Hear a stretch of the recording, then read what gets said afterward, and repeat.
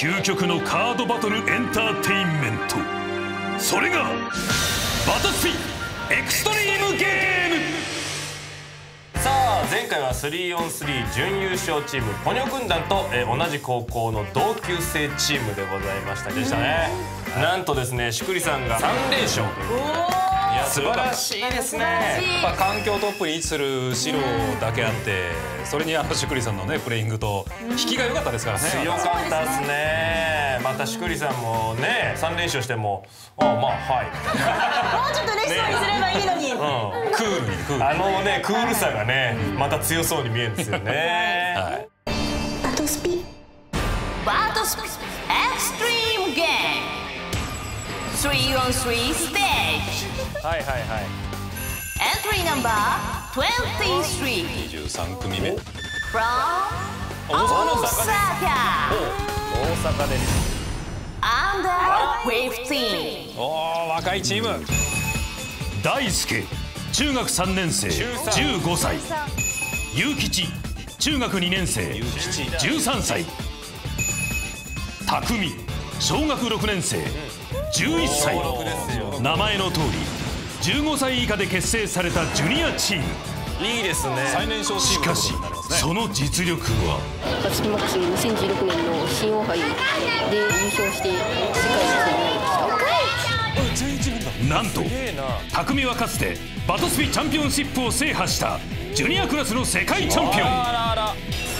一昨年の世界チャンピオンってことですねさらに他のメンバーも。新日本杯四国中国エリアの代表エリアライブを取ってるんだ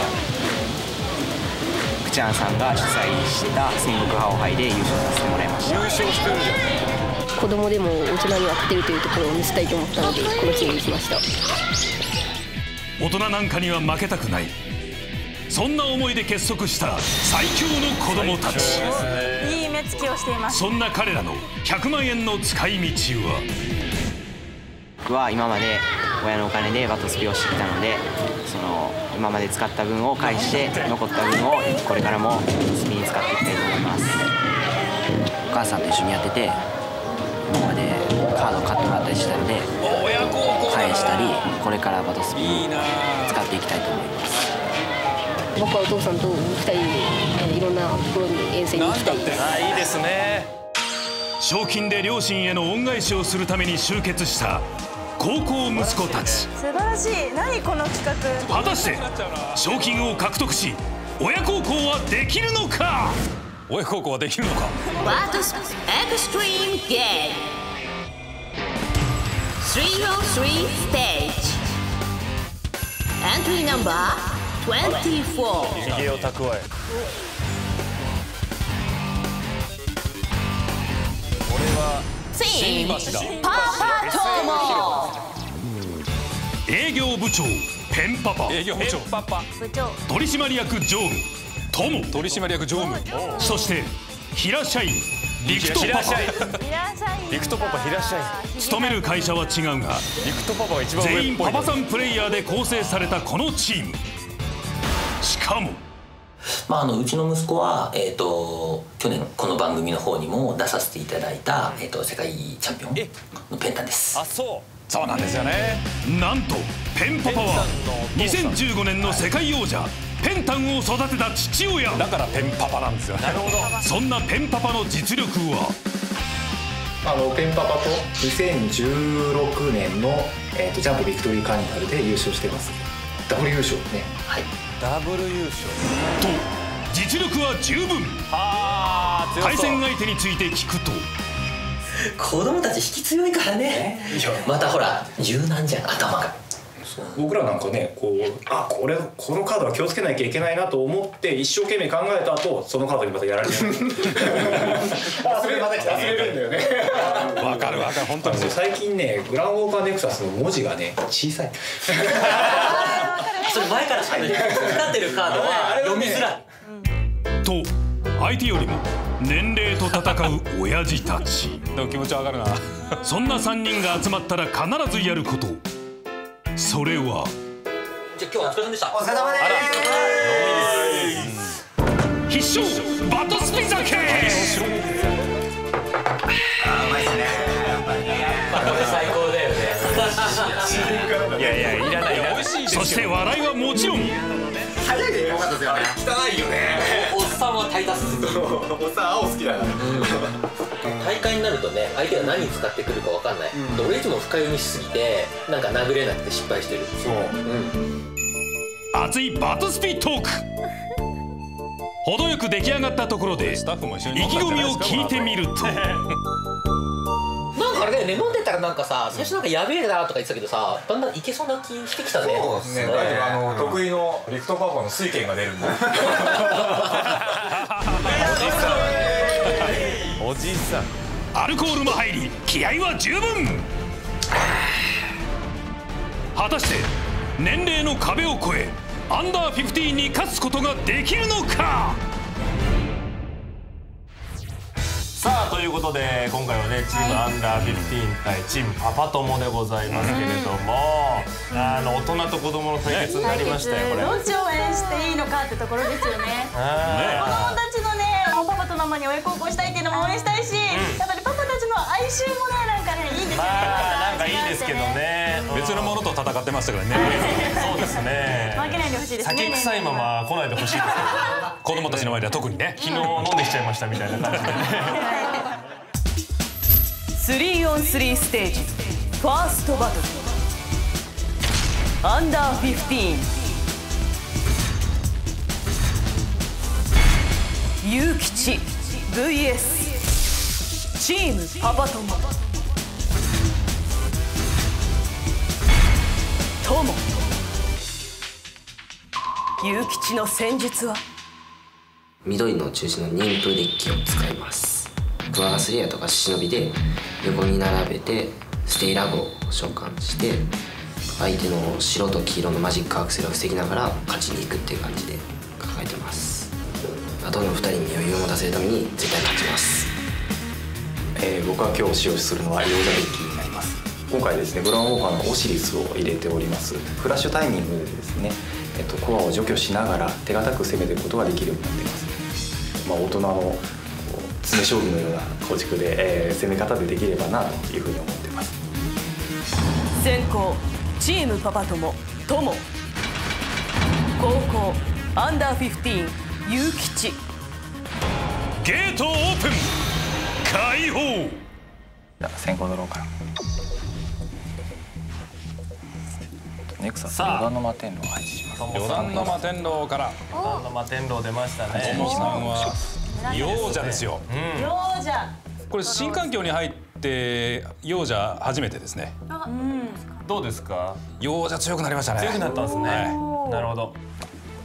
じゃあバーストをセットして大のです。バーストセット、本来はやっぱあのグランウォーカーからスタートしたですね。グランウォーカーオシリスというのがあるんですなるほど。幼者にもグランウォーカーが。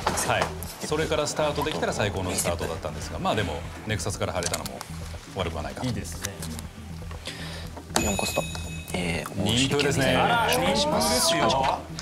手札にある妊婦を持つスピットカード1枚コストしかずに召喚できるのでとコードしかずに召喚します。膝酔い。を消滅させな消がら。滅させて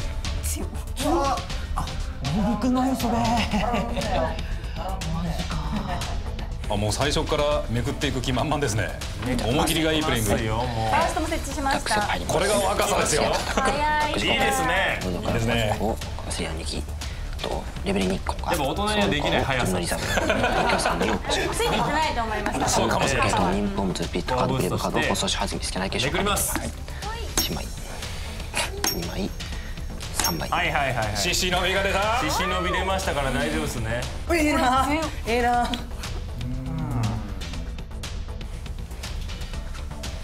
そうですね。やたがらい。はい。忍びをう。んこうしますね召喚します、はいはいはい。でじゃあカルダはしないデッキの下に戻してガーセイヤを消滅させます手だの召喚時効果ボイドカルコア2個を自分のスピードに書きます。そうすることでコア2個獅子のレベルが上がり。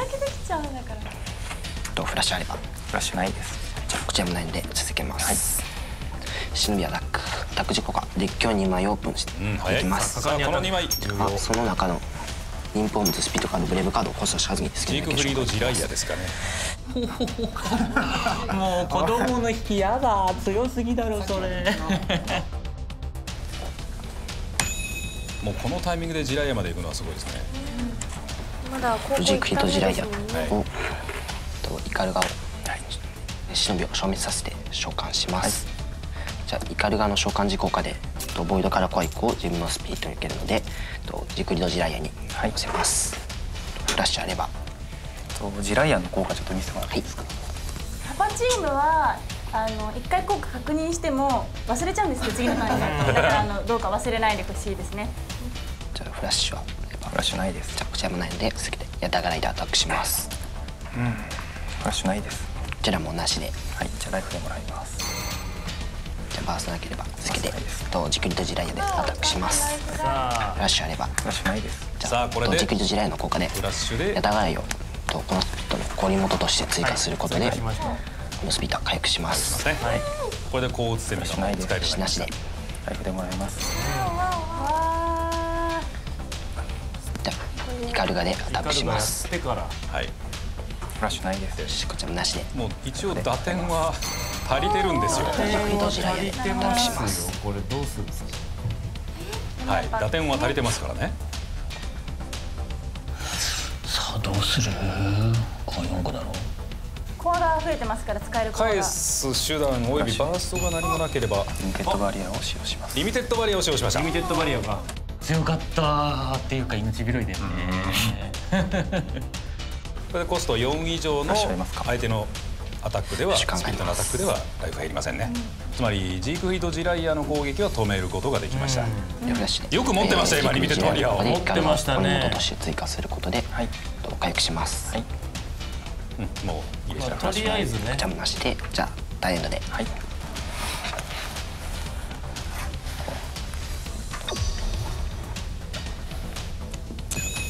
ネクサスアイランドルートを配置します。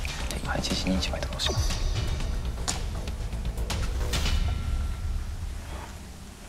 ごめんなさいジライアの効果もう一回見せてもらっていい？そうです。やっぱ一旦次忘れちゃうんです大事です大事です。効果覚えられない。ジライアの下には2枚のカードがありますので2回高打つ攻めを使用可能と。じゃあでは、え勇者ナンバーを3コスト2軽減で召喚します。勇者。インフィニスネークを同じく3コスト2軽減で召喚しますタックステップ何もせず耐えのです。じゃあスタートステップ。コアステップ。ローステッ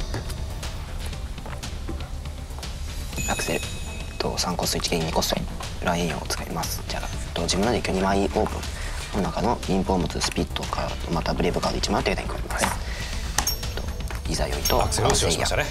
強強すぎだろそれ強なんだよそれはカワセイヤをテクノに加えていざよいを発揮します。はい。まあほぼ一択だったと言ってもいいでしょうね。とごめんなさいね。ここでバーストをはい。出しておきます。手札が増え上だとティバースバーストフェンリングをはい。まあ本来相手が一度に2枚以上増えてたか6枚以上の時に相手の手札手元フィールドのカードを4枚指定してそれ以外のカードを好きな順番でデッキの下に戻す効果もあるんですが今そんななかったのでまあ1枚。とりとりあえずは召喚してブロッカーを増やすとコスト1経験4コスト。カワスレイヤーを召喚します、たただコアはギリギリなのでジークリとジライアはどうしても3個乗っけてレベル2を維持しておきたいんですジライアにアタックします。ジライアからアタック。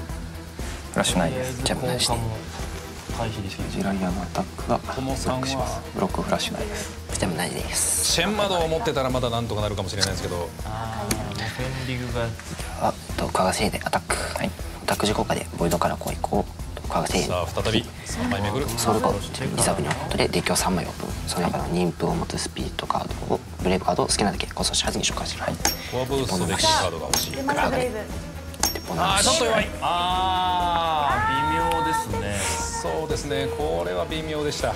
高校で開けば強かったんじゃない？だよね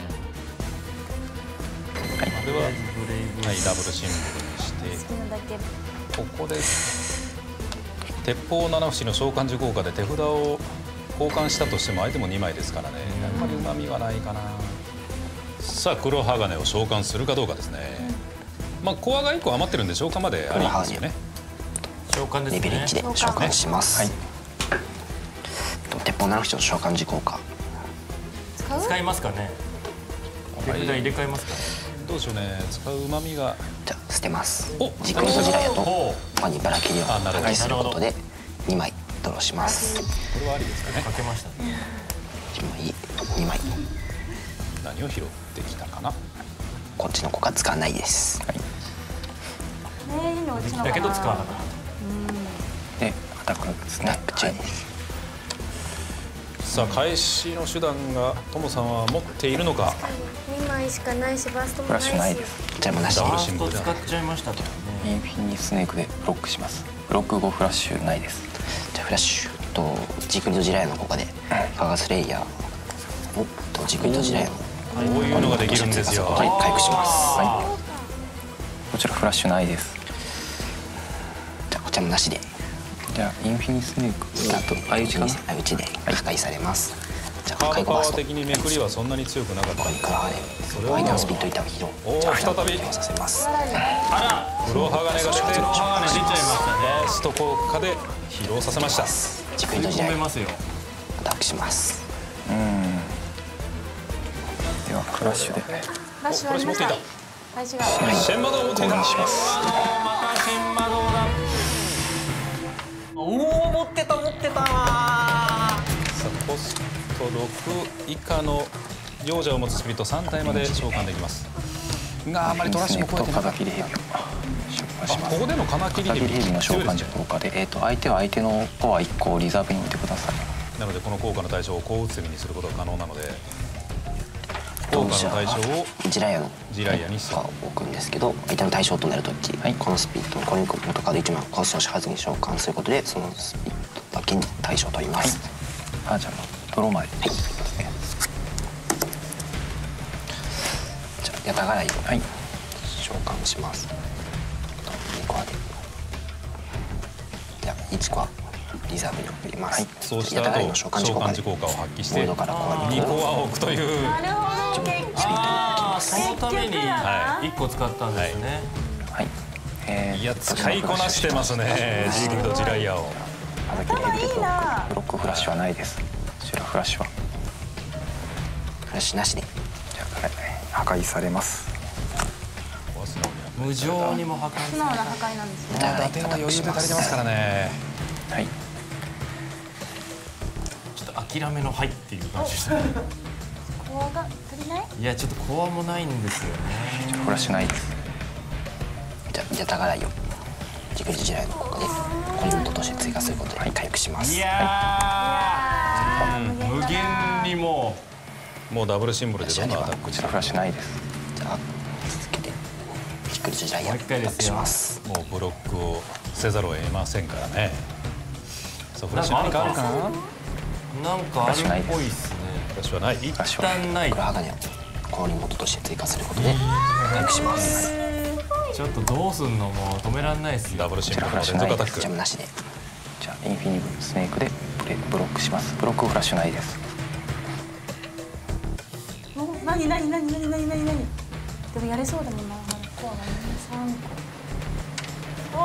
もう決めに行こうってことですね。えーとここにバラ切りを疲労状態のスピリットを一体手札に使用しじゃあ疲労状態のスピットをインフィニスネークは戻りませんね。あこれバウンスされない。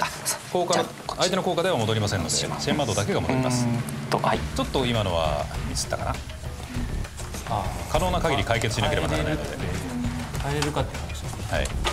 とはいえもうソウルコアはドラッシュに行ってるのでシェンマードを返して。こちらは、使えーフラッシュないです。ジャムなしではい。じゃあインフィニスネーク破壊されます。さあジップリードジライでアタックさですすけどなんか持ってる風な感じでした。ねライフで。ナイスありがとうございました。強すぎ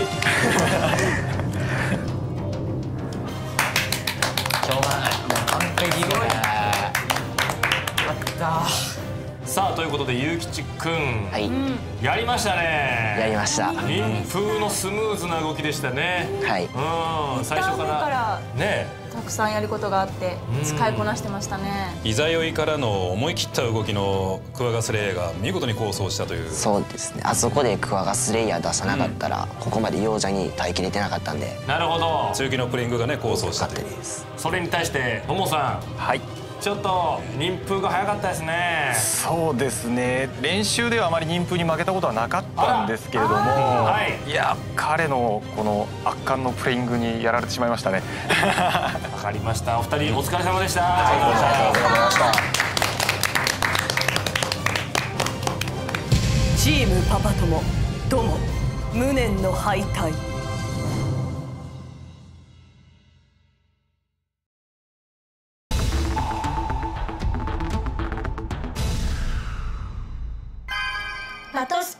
スついに7月28日土曜日に新降臨編第2章「よみがえる究極心」が発売になります。さあさあまずは、えー新降臨編第2章、新たに緑黄そして青のグランウォーカーネクサスが登場しますよ。第1章にも収録されました拳銃天霊銃刀を強化サポートいたします、はい、そして今回目玉は何といっても神の眷属ゴッドアルティメットが出るんですね。はい。ゴッドアルティメットです。はい。降臨編以降の本段では初となりますね。アルティメットを本格収録いたします、えー今日は第2章に収録されるグランウォーカーネクサスグランウォーカーのイラストをご紹介いたします、さあまずは、えー拳銃をサポートしてくれる緑のグランウォーカーヘルメス天霊をサポートしてくれるグランウォーカーイシス。そして銃刀をサポートしてくれるグランウォーカーセト。この3種類ですね。三者三様のグランウォーカーになりますが、一体どんな効果を持っているんでしょうか、気になる効果は来週からどんどん公開していきますので楽しみにしていてください。またそのはい。バトルスピーツ新降臨編第2章よみがえる究極心はブースターパック9枚入り270円。自販機ブースター6枚入り200円です皆さんぜひゲットしてください。6月より全国6会場でバトスピチャンピオンシップ 2018-3on3 エリア予選大会が開催されます。はい、えートですね、えー入場無料で大会の観覧ができるほかイベントの物販も実施予定なんですね、はい。何が買えるのやら。楽しみですね。イベント限定品いっぱいありますからね。そうそう。はい、本日はバトスピチャンピオンシップ 2018-3on3 エリア予選大会に参加するともらえるスリーム。